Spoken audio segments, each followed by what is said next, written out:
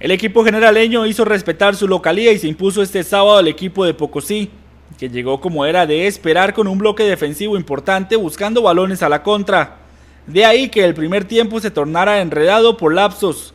Para el complemento los generaleños realizaron variantes que le dieron ese segundo aire al equipo para sacar adelante un juego clave en la lucha por posicionarse en los primeros lugares.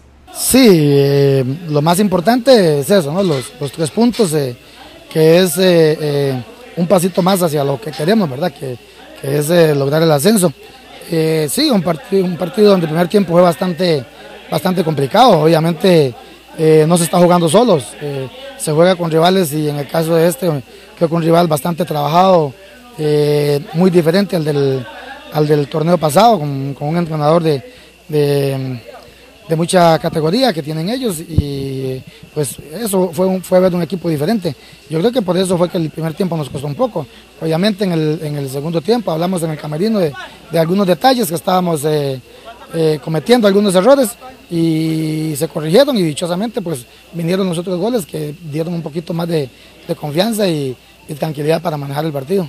Para el estratega generaleño es importante contar con jugadores que tengan gol pues se ha demostrado que ante la ausencia de uno son otros futbolistas quienes toman las riendas del club. Sí, nosotros, eh, eh, gracias a Dios, eh, la planilla nos, da para eso, igual el torneo pasado también.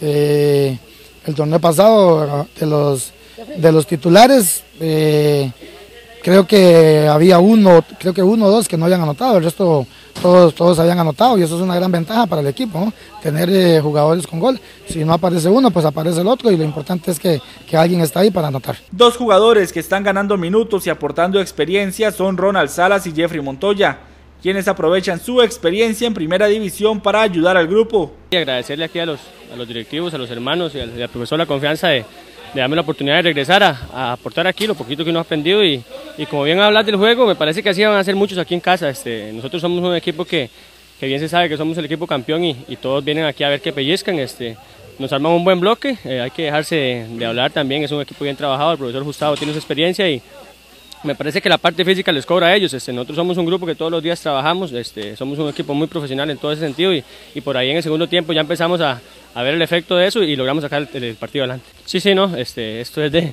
como dice usted, confianza. Por ahí estuve casi mes y medio parado después de la, de la salidilla de, de Pérez este, y como le digo, ¿no? con la confianza del profe, la de los compañeros, esto es un grupo, esto es una familia muy linda y, y poco a poco vamos agarrando el, el, el, nivel que se desea para cuando vengan los partidos importantes poder aportarle al equipo. Bueno, siento que hoy hicimos un buen partido, por ahí los goles vienen porque uno trabaja durante la semana y sí, sacamos un 3 a 1 que necesitamos para, para llegar al primer lugar, que es lo que queremos. Bueno, aparte de eso, un partido un poco enredado en la primera parte. Sí, siento que la primera parte no, no, no jugamos como, como estamos acostumbrados a hacerlo, pero ya en el segundo tiempo retomamos y por ahí vinieron los goles y sacamos la victoria. Por su parte, en la acera del frente reconocieron la superioridad de las Puma. Segundo tiempo nos superaron, creo que ampliamente, por ahí sin un control excesivo de juego, pero la que las tuvieron, las que la, las pudieron convertir y ahí estuvo la diferencia. Nosotros en el primer tiempo eh, tuvimos muchas situaciones claras y no pudimos convertir. En el segundo tiempo creo que Aspuma eh, hizo los méritos para llevarse el partido. Con esta victoria los generaleños se ubican en la cima del grupo B con nueve unidades.